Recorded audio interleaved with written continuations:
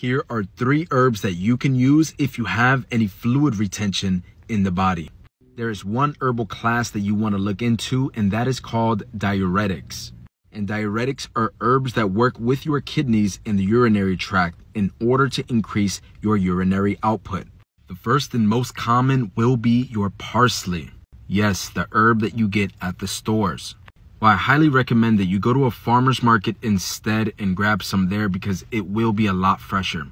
And to make a tea, all you do is take a handful and steep it for about 10 minutes with water that just boiled. You want to drink this two to three times a day. Yes, you can add in cilantro if you want. And yes, add in half a lime or lemon. This is a very powerful diuretic and it is great for people with inflamed urinary tract systems. Next up, in a star of our Move Your Lymph formula we have is stinging nettle. Now, it's not as strong as parsley as a diuretic, but it still does have that action. But what I like about it is that it works on cleansing the blood while it's at it. So this is great for people with skin issues, any skin diseases.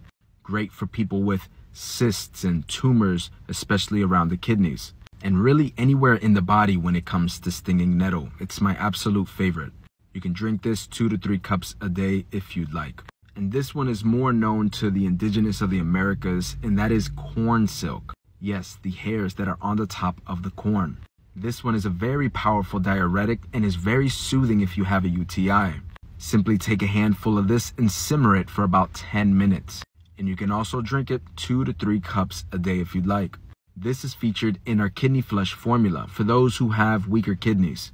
Pair this with eating raw fruits, raw veggies. If you have really, really bad fluid retention, I would slow down on the fruit and eat more raw veggies and consume as much of those teas as you can. Or head over to our website and grab a couple of our products.